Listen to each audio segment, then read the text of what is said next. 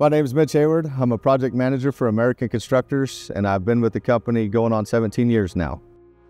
My favorite sport is is football, and my go-to team is the the Denver Broncos. So come football season, I'm usually catching every Broncos game there is.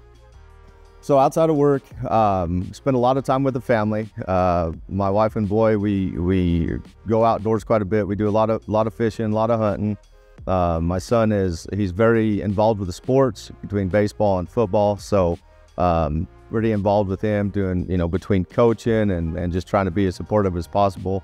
So you know outside of work, you know you gotta you gotta find that that work life balance and. Uh, for me, you know, it's spending time with the family and, and, and being outdoors. We got some PTO coming up. The family and I were we're headed down to Houston. We're gonna go uh, tour NASA, and then we're gonna go check out an Astros game. So I would say I'm more just a fan of baseball, not necessarily um, have a have a favorite team as far as that goes. But I would say my my favorite sport is is football, and my go-to team is the the Denver Broncos. So come football season, I'm losing catching every Broncos game there is.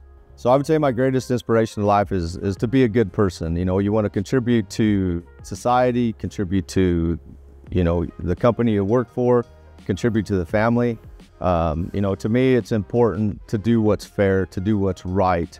Um, you know, and, and treat people how you want to be treated.